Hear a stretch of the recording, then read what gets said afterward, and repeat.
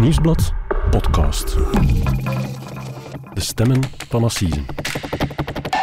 Hallo, mijn naam is Pieter Huibrechts, misdaadreporter bij het Nieuwsblad. En ik ben Cedric Lagast, journalist bij diezelfde krant. En dit is onze podcast De Stemmen van Assise, waarbij we voor elk belangrijk proces in een zaak duiken. En vandaag hebben we het over de moord op een 75-jarige man, Raymond van Toernhout. Hij werd op straat aangetroffen in Goevenen. Het zette de speurders voor een raadsel. Tot een kassaticket van een hamburgerrestaurant uiteindelijk opheldering bracht.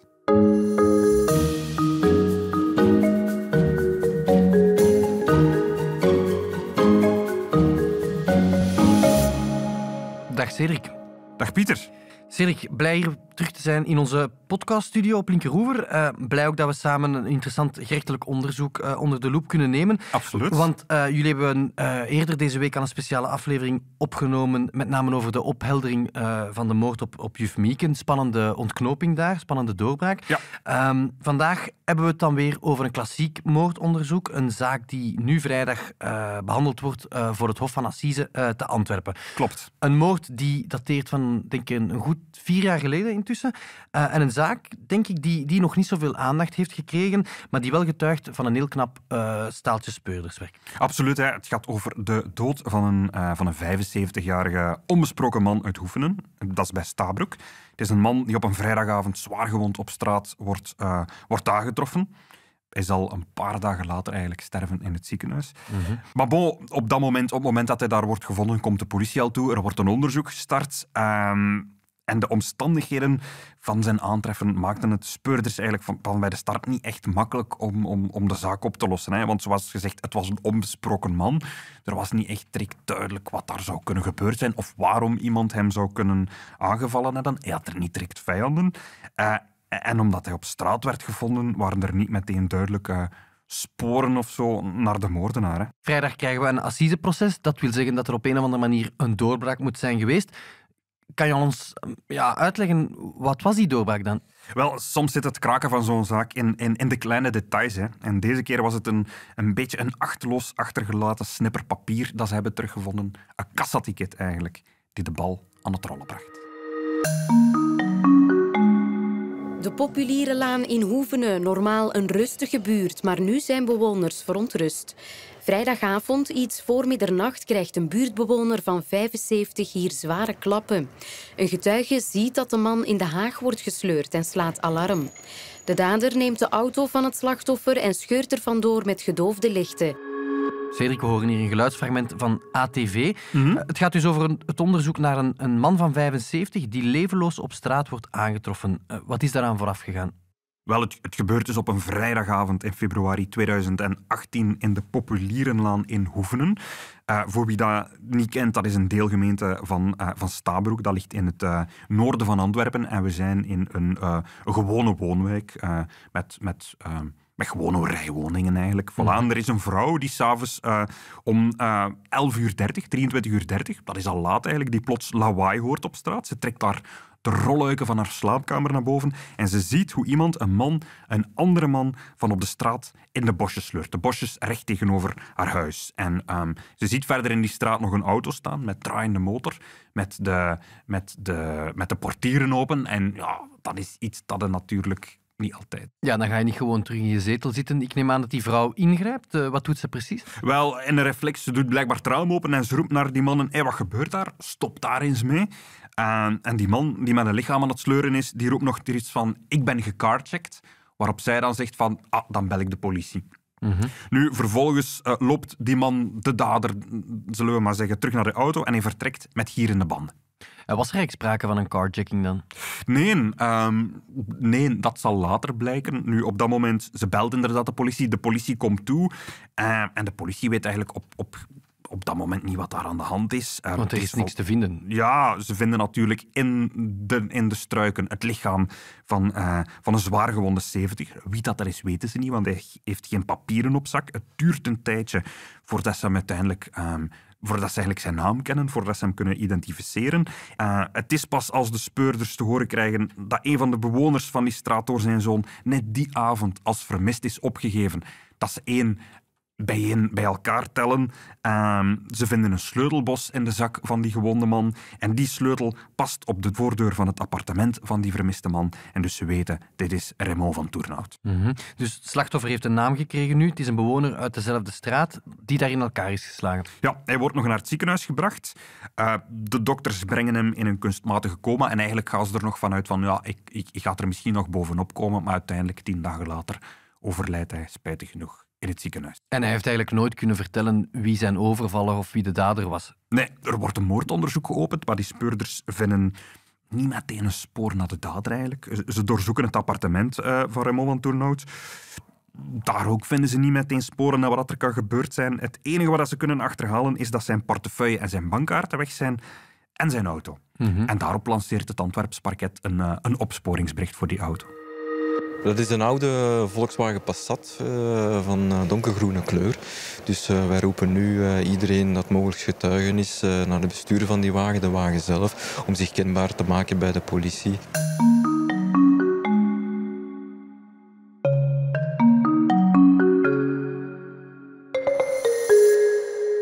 We zitten dus met een, met een slachtoffer, Raymond van Toernout, 75 jaar, mhm. in elkaar geslagen, 16 dagen later in het ziekenhuis overleden. Onbesproken, zeg jij hier. Ja. Ehm, ik neem aan dat de, dat de speurders in eerste instantie gaan graven in zijn kennissenkring, in zijn verleden, om te zien van, kijk, is hij effectief zo onschuldig als jij hier nu beweert? Of heeft hij een, een verborgen levenswandel? Maar um, ja, hij ligt echt een, een, een, een, een onbesproken man te zijn. Hij is uh, een Antwerpenaar. Hij is eigenlijk opgegroeid in het centrum van Antwerpen, aan de Groenplaats.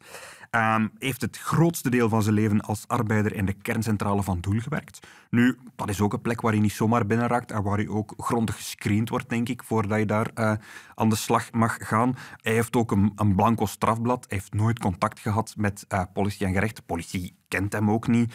Um, iedereen ja, zegt dat dat eigenlijk een, een, gepensioneerde Antwerpenaar is die heel zijn leven een, een eerlijk leven geleid heeft. -hmm. en, en heeft hij familie? Um, is 40 jaar getrouwd geweest en heeft één zoon. Hij is uiteindelijk gescheiden van zijn echtgenote, maar ook dat is volgens zijn familie allemaal zonder conflict verlopen, die echtscheiding. Hij wordt eigenlijk door zijn, door, ja, door zijn familie en kennissen omschreven als een zachtaardige man, niet agressief, iemand die nooit ruzie maakte. En hij was ook heel gelovig. Hij ging elke zondag naar de kerk. Je zegt dan dat het zijn familie is geweest die de politie heeft gewaarschuwd?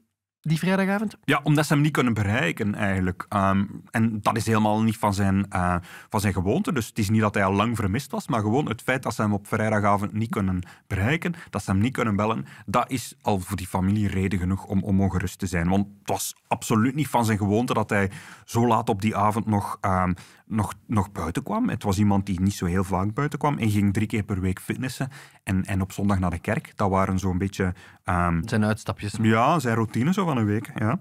En heeft die familie die dan neem ik aan, uitgebreid verhoord wordt meteen.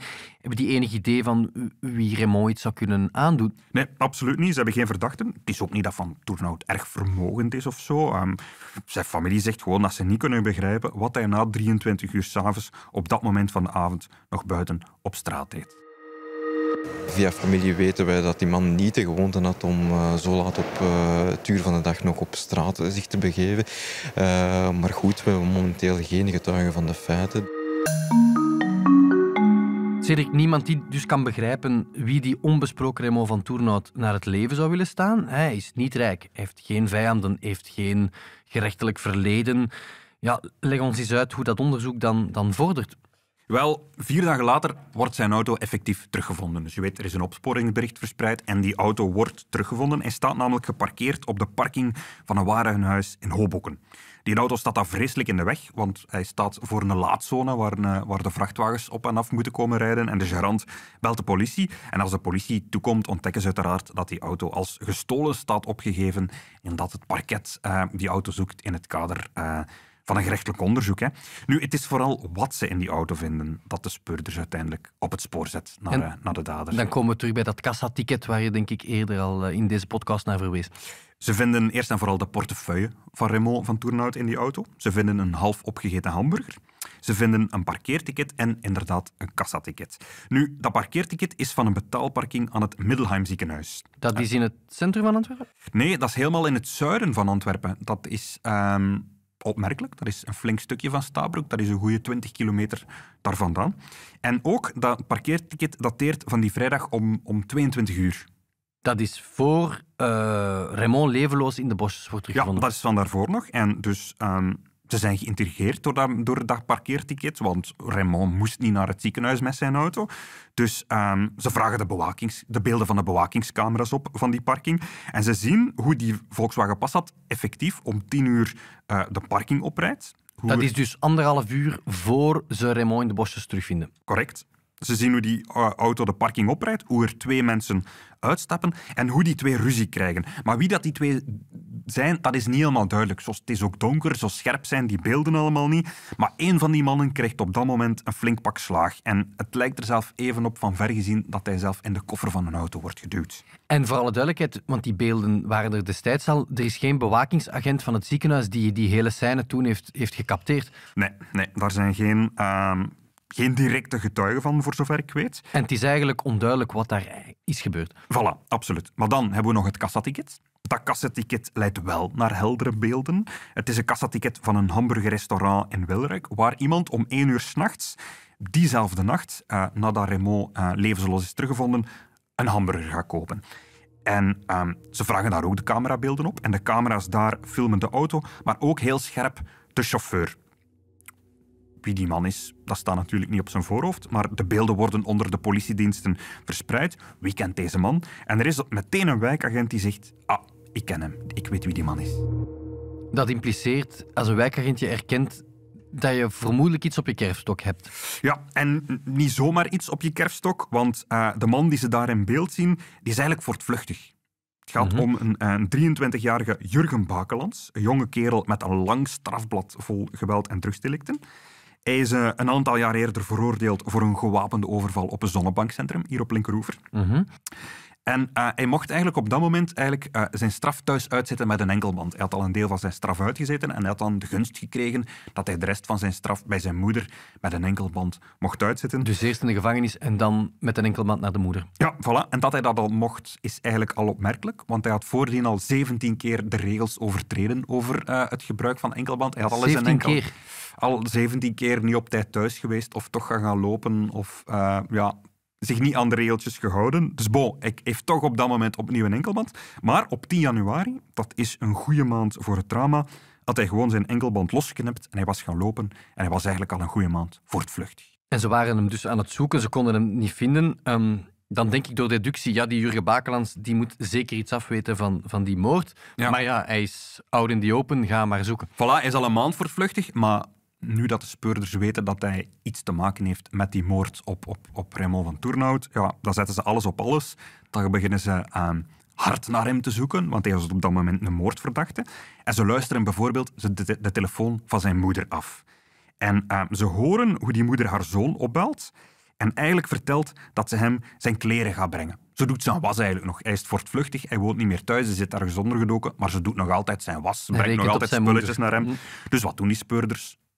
Ze volgen die moeder natuurlijk. Hè. Ze, ze weten wanneer die moeder hem uh, een pakketje gaat brengen. Dat is het aas. Voilà, ze volgen discreet die moeder. Haar auto stopt voor een huis in Antwerpen, vlak aan het Antwerpse gerechtsgebouw nota bene. Dus hij verstopt zich eigenlijk vlak onder de neus uh, van zijn jagers eigenlijk. En als Jurgen Bakelands op dat moment naar buiten komt om zijn spullen op te pikken, dan klapt de val dicht en wordt hij ingerekend.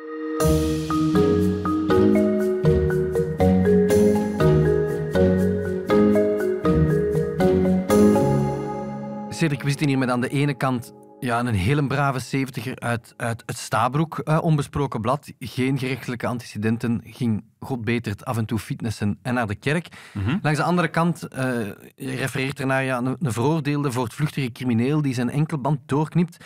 Wat hebben die twee met elkaar te maken? Um, als de speurders aan Jurgen Bakelands oppakken en kunnen ondervragen, neem ik aan dat mysterie vrij snel is opgelost. Wel, helaas nee, want hij weigert eigenlijk veel te vertellen over wat er gebeurd is. Hij zwijgt. Pas later in, het onderzoek zal hij een verklaring afleggen. Hij zal zelfs meerdere verklaringen afleggen. Uh, maar ja, daarin spreekt hij zichzelf tegen. Hij trekt verklaringen weer in. Eigenlijk ja, van hem komen ze het niet echt te weten wat daar gebeurd is. Ze moeten, de speurders moeten eigenlijk het hele verhaal een beetje op eigen kracht proberen te reconstrueren. En ze ontdekken dat Jurgen Baaklands die bewuste avond, waarop dat alles ehm, zich heeft afgespeeld, dat hij ehm, om 21 uur s'avonds op bezoek is geweest in het appartementsgebouw in Hoevenen waar Raymond van Toernout woonde. Dat is eigenlijk twee uur en een half voor zijn lichaam dan later die avond zal gevonden worden. Ja. Ehm, dus hij is op bezoek geweest bij Raymond. Maar niet bij Raymond. Hij wordt door zijn moeder afgezet aan het appartementsgebouw. En hij gaat eigenlijk op bezoek bij Cynthia. Cynthia is een, een vriendin van hem. Bij die Cynthia mocht hij logeren. Onderduiken eigenlijk, want hij, want hij, Hij is was vluchtig. vluchtig, ja. Voilà. Ehm, dat heeft niks met, met Raymond te maken, maar op een bepaald moment ehm, heeft hij dorst. Hij heeft dorst. Hij wil naar de nachtwinkel om een, een fles alcohol te kopen, om een fles drank te kopen. Maar hij heeft geen vervoer, want hij is afgezet door zijn moeder. En Cynthia heeft ook geen vervoer. En daarom zou hij aan eh, de brave buurman van Cynthia gevraagd hebben of dat hij zijn auto mocht lenen. Ze kenden elkaar niet, voor alle duidelijkheid. Ze, ze, ze hadden elkaar nog nooit ontmoet. Mhm. En dat was dus Raymond. Absoluut. Was Raymond typen dat zijn sleutels aan een onbekende eh, man die hij nog nooit gezien heeft zou geven? Wel, vanaf daar wordt het een beetje vloe. Vanaf daar moeten we eigenlijk voortgaan op, op, op, op verklaringen, bijvoorbeeld van die Cynthia en, en van, eh, van Bakeland zelf. En ja, volgens Cynthia zou Raymond zijn sleutels niet meteen gegeven hebben, maar zou hij ze dan, dan maar aangeboden hebben om Bakeland zelf naar de nachtwinkel te voeren. Ehm, Bakeland zelf beweert dat hij Raymond geld heeft gegeven, dat hij hem betaald heeft om hem te voeren. Als een soort taxi. Maar bon, ze- zouden samen vertrokken zijn in die auto. En wat gebeurt er dan? Wel, ze zouden effectief naar de, naar de nachtwinkel gereden zijn. Bakelands heeft daar een, een fles vodka gekocht. Uh, maar vreemd genoeg duikt de Passat dan om 22 uur die, ehm, die avond op aan het Middelheim ziekenhuis. Ik heb het al gezegd, voor de, wie dat niet weet, dat het Middelheim ziekenhuis ligt helemaal ten zuiden van Antwerpen. Hoevenen ligt in het noorden van Antwerpen. Dat ligt ongeveer 20 kilometer van elkaar. Het is niet echt in de buurt. Het is niet logisch. Ook. Uh, bon, die auto komt toe al op de parking van het ziekenhuis. Wat daar gebeurd is, is gefilmd. En de speurders zijn ervan overtuigd dat de man die daar ehm, een pak slaag krijgt op de parking, op, op de bewakingsbeelden, dat dat Raymond van Toernout is. Hij wordt in elkaar geslagen door Baaklands. Want ze hebben in de koffer van die auto een plas bloed gevonden. En dat bloed is van het 75-jarige slachtoffer. Oké, dus hij wordt in elkaar geslagen op de parking van het ziekenhuis en dan nadien keren ze terug naar Stabroek. Ja, om 23.30 uur zou Bakelands opnieuw bij Cynthia hebben aangebeld, vertelt ze. En eh, hij moet dan vlak voordien zijn zwaar gewonde slachtoffer uit de auto hebben gehaald en in de bosjes hebben gesleurd. Dat is wat die buurvrouw die haar rolluik naar boven trok gezien heeft. Ehm, zij belt de politie. De politie komt en de voortvluchtige Bakelands wordt nerveus van al die zwaailichten in de straat en hij is weer vertrokken met de Passat van Van Toornhout, die hij uiteindelijk achterlaat op de parking van een supermarkt. Voor alle duidelijkheid, Cedric, Cynthia is op geen enkele manier mee naar die nachtwinkel gegaan. Zij is eigenlijk thuisgebleven. Ja. Oké. Ehm, waarom is die buurman in godsnaam zo zwaar toegetakeld dan? Waar is het misgelopen? Waarom zijn ze naar dat ziekenhuis gereden? Waarom moest hij dan dood? Uh, goeie vragen, Pieter. Uh, Bakelands heeft ondertussen daar verschillende verhalen over opgehangen. Heeft daar verschillende versies over gegeven aan de speurders. Uh, zo zou hij die, die, auto nodig gehad hebben om een ripdeal te plegen. Hij wou zogezegd een partij drugs verkopen aan een gangsterbende, maar in werkelijkheid wilde hij de kopers bestelen en daarvoor had hij een, een auto nodig. Nu, daar is weinig hard bewijs voor gevonden. Um, de man die op de beelden slaag krijgt, zou dan ook iemand anders geweest zijn dan Raymond. Dat zou iemand van die andere gangsterbende geweest zijn die hij een pak slaag had omdat hij die wilde beroven. Maar dan zit hij in de knoop met dat bloedspoor. Voilà, dat wordt tegengesproken door de bloedvlek in de koffer. Hè. Um, in een ander verhaal zou hij van Turnhout pas terug in, in, in Hoevenen een pak slaag gegeven hebben omdat, omdat de oude man een, een ongepaste toespeling over, over kinderen zou gemaakt hebben. Nu, ook daar is nooit iets van bewezen. Niemand heeft ooit gezegd dat, dat Van Toornhout met zo'n dingen bezig was of zo'n dingen zou vertellen. Bakeland sleurt er uiteindelijk ook kennissen en vrienden van hem bij, van wie hij dan beweert dat zij die buurman hebben geslagen, maar die blijken uiteindelijk allemaal uh, een, een, alibi te hebben eigenlijk. Mm -hmm. Klinkt een beetje als een moordverdachte die geen kant meer uit kan en ja, zich hopeloos vastrijdt in theorieën, hypothesen, ja. uh, leugens. We um, kunnen uiteindelijk, denk ik, besluiten dat Bakelands op vier jaar tijd nooit heeft willen zeggen wat daar echt gebeurd is. Mm -hmm. Dat is natuurlijk heel sneu voor de, voor de familie van de, van de arme Raymond van Toenat. Mm -hmm. Wat concludeert het Antwerpse gerecht eigenlijk? Het parket meent dat wel degelijk Bakelands en niemand anders de dodelijke klappen heeft uh, gegeven aan, aan, aan het slachtoffer. En daarom Bakelons staat terecht voor roofmoord. Volgens het parket heeft hij Van Toernout vermoord, enkel en alleen om zijn auto te kunnen stelen.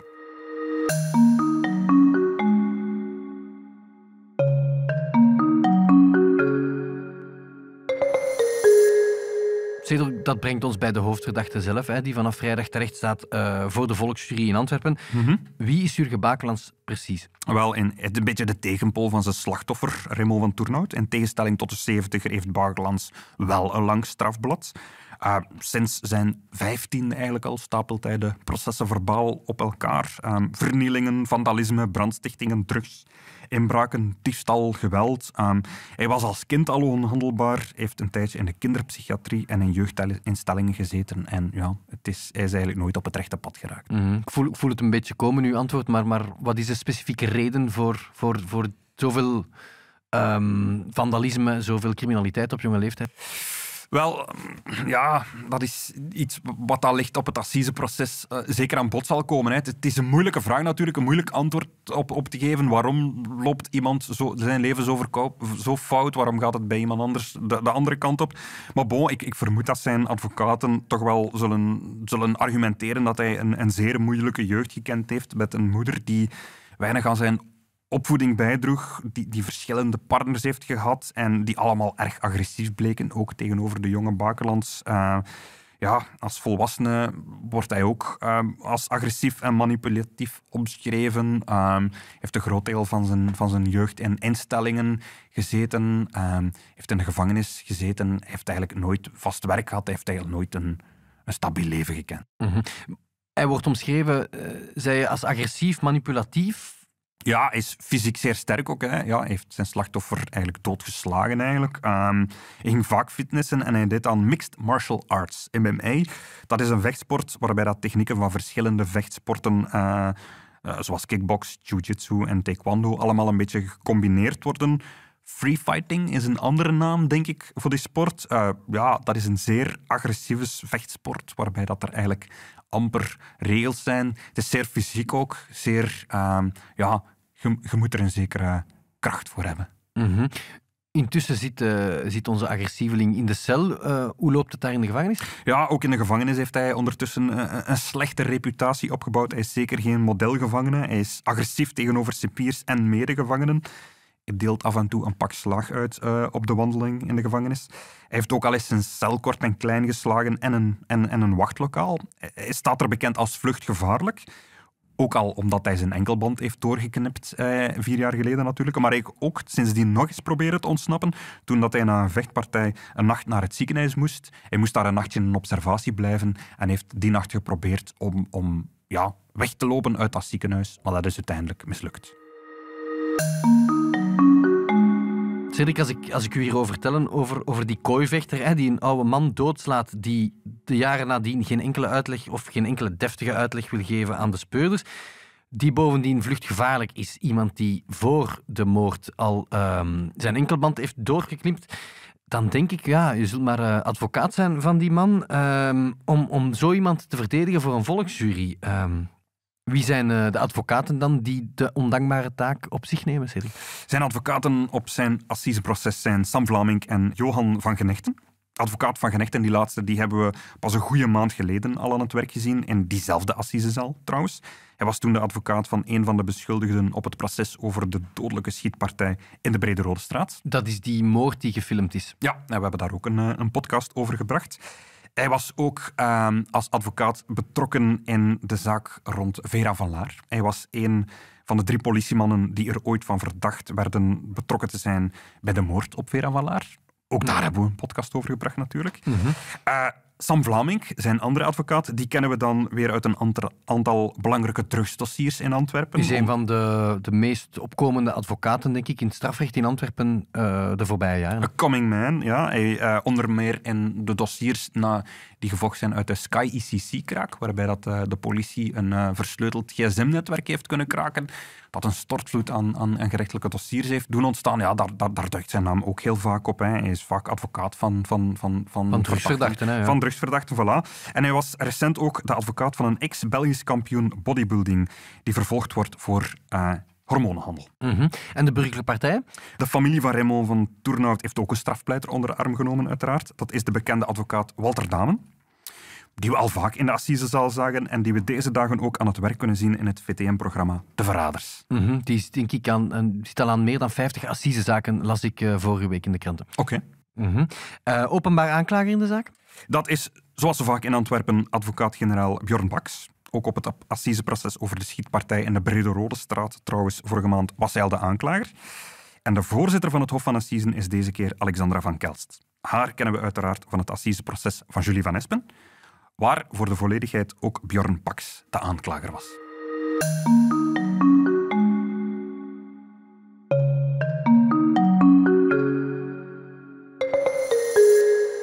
Cedric, hiermee zijn we aan het einde gekomen van een nieuwe aflevering van De Stemmen van Assise. Absoluut. Deze zaak start vrijdag voor het Assisehof in Antwerpen. En wij zullen die zaak uiteraard volgen, uh, zowel uh, online als in de krant. Um, volgende week zijn we er opnieuw met een nieuwe aflevering van De Stemmen van Assise. Yes. En misschien, we zijn sympathieke jongens, moeten we nog even um, wat reclame maken voor onze goede collega's van De Standaard, die in het weekend van 1 en 2 april een heus podcastfestival organiseren aan de Zee in Oostende. Ja, en het is ook een beetje reclame voor onszelf, want wij zijn genomineerd voor een van die prijzen die daar uit, uh, uitgereikt worden, dacht In ik. welke categorie? De categorie nieuws. De, we zijn genomineerd eigenlijk voor de beste actu een van de beste actualiteitspodcasts, denk ik, uh, van vorig jaar. Fantastisch. Hopelijk kunnen we dat winnen. Hè? Dat, zou, dat kunnen we niet wegsteken. Uh, ik heb horen waaien dat er ook een, een soort belevingsruimte is. Over de stemmen van Assisen. Ja, dus ik zou zeggen, iedereen die van podcasts houdt, rep u naar de zee, koop een ticket en ga naar het podcastfestival van De Standaard. Cedric, uh, voor de, denk ik, bijna 60ste keer, bedankt voor uw deskundig advies. 59, we zijn er bijna. Oké, okay, bedankt voor uw deskundig advies en tot volgende week, denk ik. Tot volgende week. Dit was De Stemmen van Assisen, een podcast van het Nieuwsblad. De stemmen waren deze week van Pieter Huibrechts en van mezelf, Cedric Lagast. Onze dank gaat uit naar ATV voor het gebruik van enkele audiofragmenten. De montage gebeurde door Pieter Schrevens van House of Media en de productie werd in goede banen geleid door Bert Heijvaart.